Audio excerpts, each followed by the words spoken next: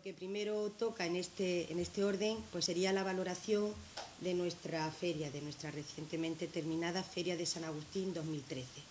Y en cualquier caso, desde el Partido Popular tenemos que lamentar que una vez que esta feria se ha desarrollado, afortunadamente sin incidentes graves, sí que lamentamos la apatía, la desidia, la falta de coherencia, de determinación, de valentía y de capacidad de gestión del Partido Socialista en el Gobierno, en el Ayuntamiento de Linares. Y esta acusación perdería toda su contundencia y todo su valor si no viniera argumentada y avalada por un montón de pruebas que a continuación les voy a relatar. Concretamente, hemos estado en los días de, en los días de feria, tal y como nos habíamos comprometido, en la calle, hablando con la gente. Decíamos que solo entendíamos la política desde la posición de la plaza pública, de compartir y vivir de forma cercana con los ciudadanos de Linares, que en este motivo a lo que nos debemos y por lo que estamos intentando mejorar la situación en la que está la ciudad de Linares.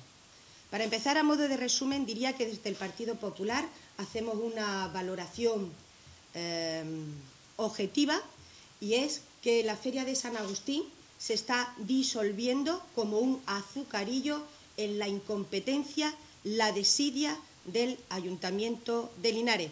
Vamos perdiendo fortaleza día tras día y si esto no se remedia en sucesivas ediciones, nos veremos abocados a que la Feria de Linares, una de las más emblemáticas, más representativas de toda Andalucía, se vea diluida, como decía antes, como un azucarillo a una mera feria de barrio de cualquier ciudad importante.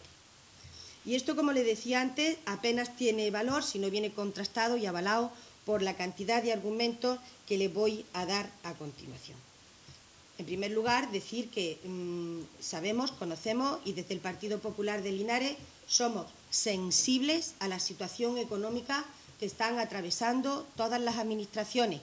No en vano gobernamos el Partido Popular en más de un 80% de todas estas, por lo que comprendemos las dificultades económicas intrínsecas a la gestión municipal. Pero también, no es menos cierto, que cuando un equipo de personas, hombres y mujeres, asumen con responsabilidad, con valentía, con originalidad, con capacidad de entrega, de sacrificio y de generosidad a proyectos importantes de la ciudad, estos se pueden acometer, no es necesario siempre el dinero, sino implicar de forma importante y generosa a los ciudadanos para que esto a su vez den lo mejor de ellos mismos. Esto es lo que ha ocurrido en la Feria de San Agustín.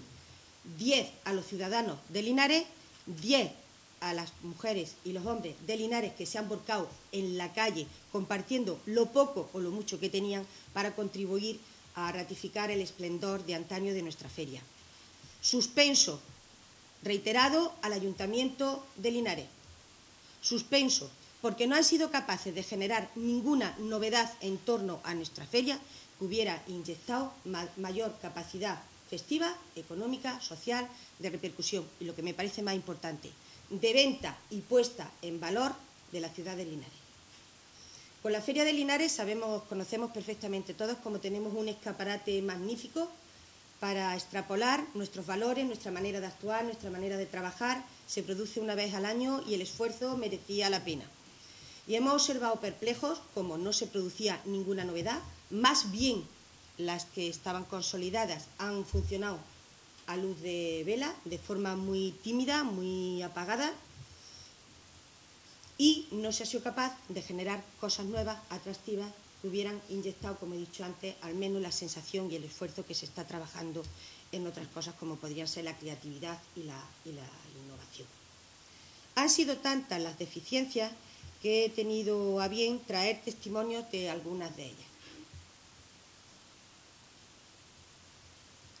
Concretamente, pensamos que gran parte, por la mala suerte que hemos tenido en nuestros días, cosa que se escapa totalmente del control de, del gobierno, y otras, como decía antes, por la incompetencia, han ocurrido muchas cosas. El primer día, concretamente, el 27, apagones reiterados de luz.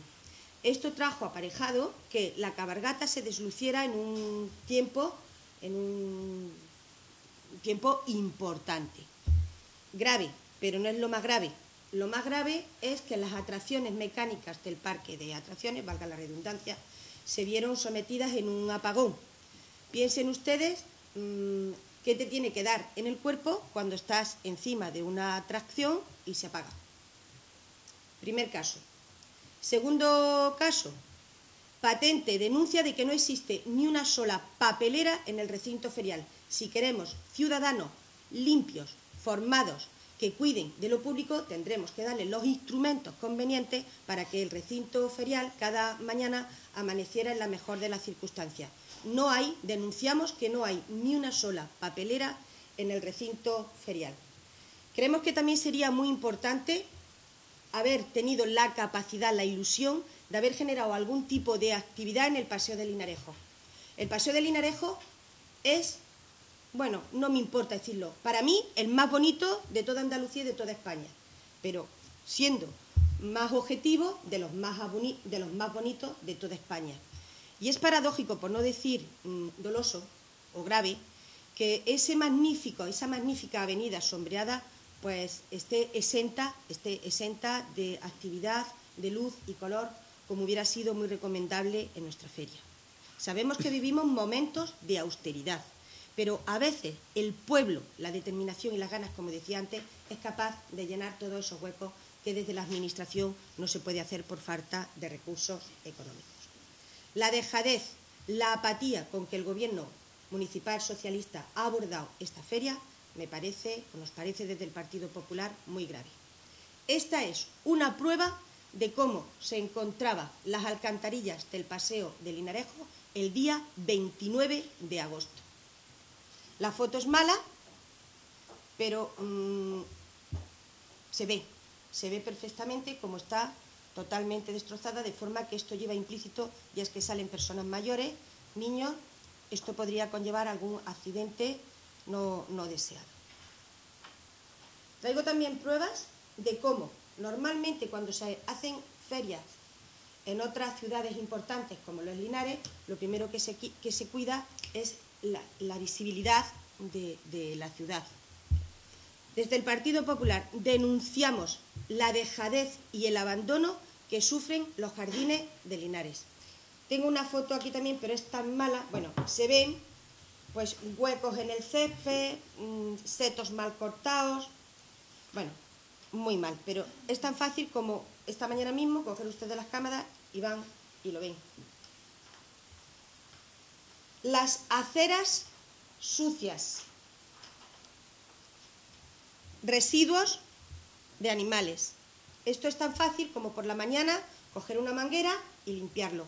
Tenemos que pensar qué imagen queremos vender de Linares y esta no es la mejor imagen de Linares. ¿Qué les digo? Donde se han desarrollado los conciertos. Los rótulos llevan así de años. Es verdad que ahora estamos más pobres, eso es verdad, pero es que esto, en épocas de mucha bonanza de la ciudad de Linares, esto estaba así. ¿No se podría hacer un esfuerzo e intentar arreglarlo con poco dinero? Tan fácil como coger unos tablones y pintarlo. ¿Vale eso mucho dinero? ¿O es que hay mucha lasitud, mucha apatía, mucha desidia en este gobierno socialista? Esto ya, señores, no tiene nombre. Esto es un auténtico estercolero. Aquí habrá que hacer una concienciación de qué es lo que está ocurriendo. Estamos habilitando y arbitrando medidas que no den esta imagen deplorable de Linares.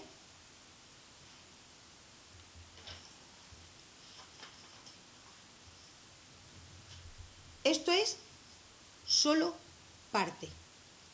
A título anecdótico, les voy a contar algunas cosas que nos han contado en la calle.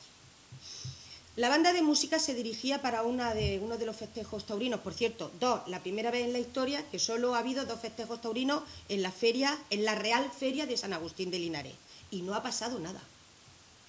Yo recuerdo otra época en la que yo, bueno, creo que estoy hablando con conocimiento de causa, porque tuve el honor y el privilegio de ser concejal de festejo en la etapa que gobernó el Partido Popular en la ciudad. Yo recuerdo como desde todas las peñas taurinas, de la ciudadanía en general, los ciudadanos en general, protestaban cuando aquí a Linares no venía lo que entendíamos que la fiesta taurina de Linares merecía. No olvidemos, no olvidemos que somos plaza histórica y emblemática de toda Andalucía, por no caer en la pedantería de decir que de toda España. Dos festejos taurinos. Pues cuando nuestra banda, que iba a la feria, perdón, al, al coso de Santa Margarita, se dirigía formando un pasacalles, como viene siendo tradicional en la ciudad, tuvo que dispersarse la banda porque no había policías locales que controlaran la marcha de esa banda. O sea, tuvieron el, foráneo que venga a nuestra ciudad y vea eso, dice, bueno, ¿dónde estamos? ¿Dónde estamos? Otro fallo importante. Eh, la salida de los conciertos, la primera, la de Rafael, un poco mejor, la salida de los conciertos de Pablo Alborán, catastrófica, desastrosa. ¿Dónde ha estado la coordinación? ¿Dónde está la puesta en valor de nuestra feria de, este, de San Agustín 2013? ¿Qué estamos haciendo con nuestra feria? Que como decía antes, el escaparate más importante que tenemos de cara al exterior, sobre todo de la comarca, para que luego vengan a compartir con nosotros de nuestros comercios, de nuestra gastronomía, de nuestros servicios. Se está cundiendo en toda la comarca que Linares se está hundiendo, que Linares se está apagando. Y los linareses tendremos que volver a coger la antorcha, los linareses tendremos que volver a coger la punta de lanza que vuelva a colocar a Linares, al menos en la lucha donde eh, reivindicamos desde el Partido Popular que nos corresponde. Bueno, ya cosas puntuales. Camiones mal aparcados que han sido auténticos vertederos, por no decir de excrementos de las personas. El olor insoportable, incluidas las inmediaciones del Teatro Cervantes huecos importantes en el parque de atracciones. Tanto trabajo cuesta ir a otras ferias importantes de Andalucía e intentar convencer a los feriantes que vengan. Yo recuerdo lo que costaba aquello. Yo recuerdo, pero se hacía. Se hacía. A lo mejor es que hay que darle facilidades a esos feriantes. A lo mejor, no sé, no estamos en la gestión directa. Yo digo lo que, por ejemplo, yo hubiera hecho yo hubiera hecho. Algunas personas que han venido a nuestra ciudad en representación o a representar cualquier... Bueno, me voy a referir concretamente al pregonero, uno de los pregoneros de las Tarantas. Se encontró solo, desatendido y abandonado en nuestra ciudad. Lamentable. Desde el Partido Popular le hemos transmitido a este señor nuestras excusas y, le hemos dicho que, lo lamentamos mucho que estas situaciones se sigan produciendo en Linares. Bueno, tendríamos que enumerar muchas más, pero de momento esto me parece lo más significativo, lo más relevante. También quiero transmitir que desde, la responsabilidad de este partido es verdad que en comisión se ha trabajado conjuntamente con el equipo de gobierno y todas aquellas cosas que se nos han planteado, que, que entendíamos que eran importantes, se han aprobado. Pero también queremos afirmar categóricamente desde el Partido Popular que hay otras formas de hacer las cosas y es con, ímpetu, con capacidad de sacrificio, de trabajo, estando muy atento, dedicándole a esto muchas horas, mucha generosidad y mucha capacidad de convencer y de persuadir. Lo fácil es hacer lo que se está haciendo, implicarse al mínimo, eh, el gobierno está agotado, como decía antes, está deslucido y lo fácil es decir que no tenemos dinero y que por eso no hacemos las cosas y que el poco dinero que tenemos se lo dedicamos a las personas que más lo necesitan efectivamente. Tenemos que dedicarle todo lo que podamos y más a las personas que más lo necesitan. Pero también contribuimos a que lo necesiten cada vez menos personas si somos capaces de habilitar recursos, actitudes y aptitudes para mejorar la situación de Linares. Eh, este partido que, que represento y en el que estamos implicadas muchas personas de buena voluntad, que venimos a contribuir con lo mejor de nosotros mismos a nuestra ciudad, no se va a callar absolutamente ni una sola cosa que entendamos que tiende a mejorar la gestión del gobierno socialista que está gobernando en nuestra ciudad. Porque entendemos que desde el silencio también se es cómplice de la desidia y de la angustia que está atenazando Linares. Por mi parte. de esta feria porque esta feria ha sido como la anterior, eh, una más, una más de, la feria de, Linares a las que nos está acostumbrando el Partido Socialista.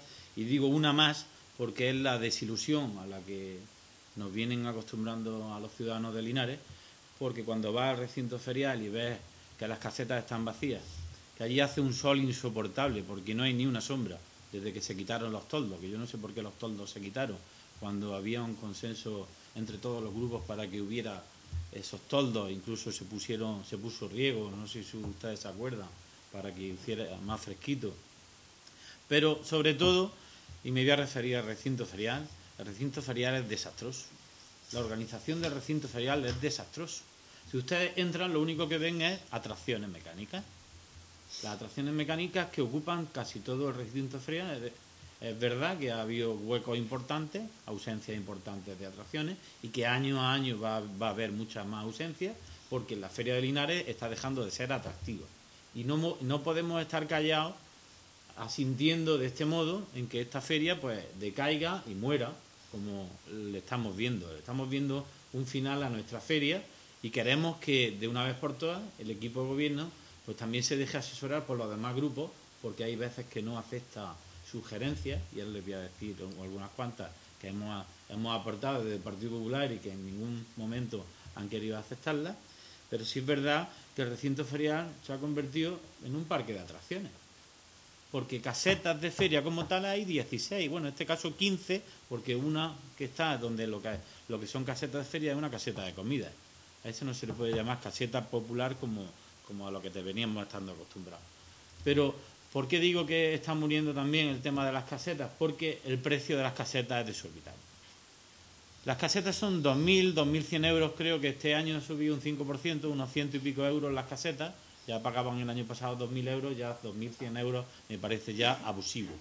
Pero ya no es solo el precio, es que una hermandad, una asociación, una, una entidad, para poner una caseta tiene que pagar los seguros de responsabilidad civil, los aseos, el guarda de seguridad, el boletín de la luz, la fianza de la limpieza, bueno, una cantidad de, condiciones que al final se ponen en un millón de pesetas.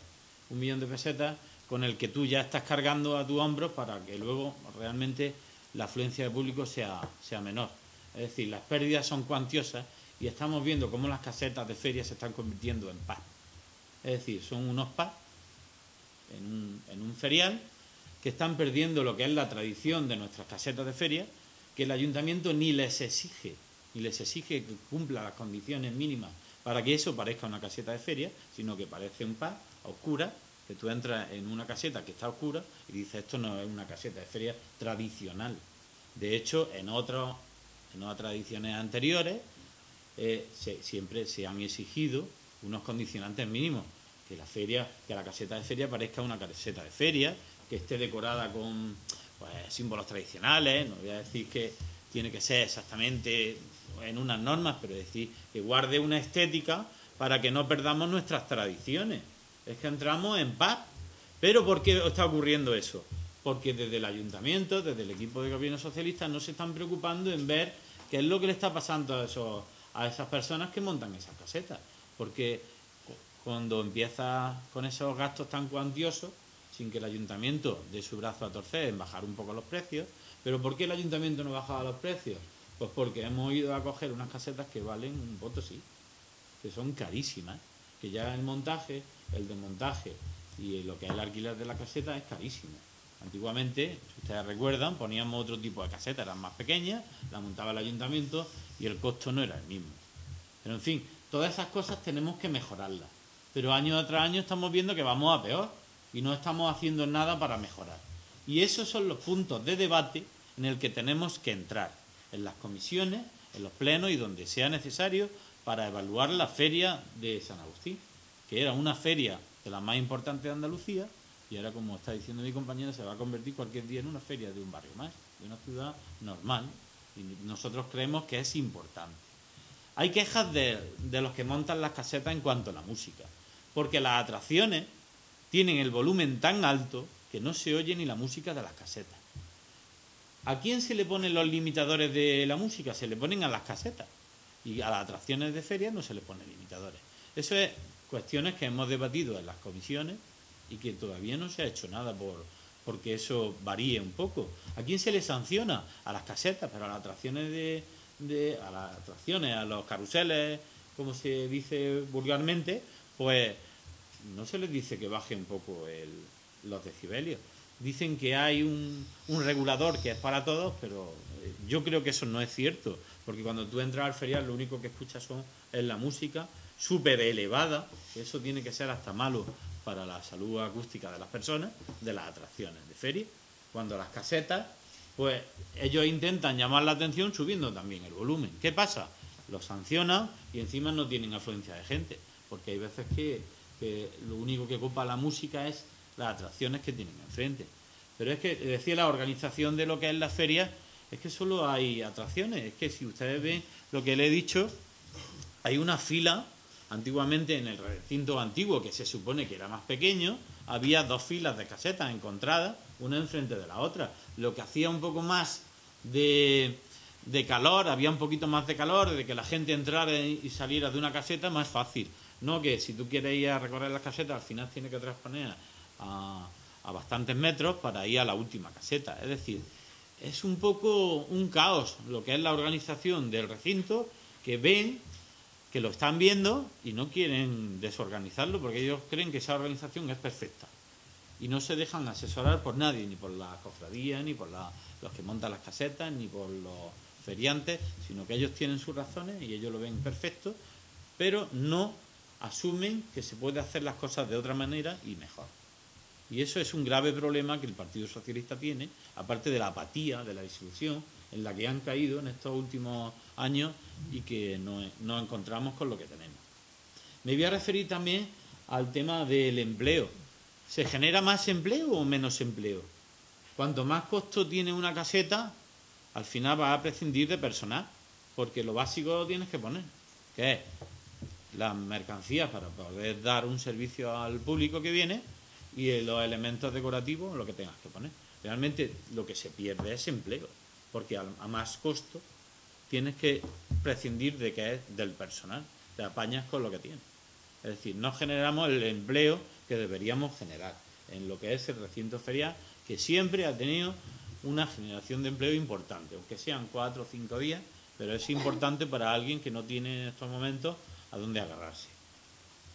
Hay quejas de todo los, tipos, de los dos tipos, sobre todo, por ejemplo, en lo que es el tema del botellón. Ustedes cuando han visto, como indiqué, dónde se podía adecuar una zona para hacerlo, que es justamente enfrente, porque hay un enorme descampado donde se podría ubicar el botellón en condiciones para que la gente joven pudiera estar realizando o tomándose allí lo que ellos quisieran.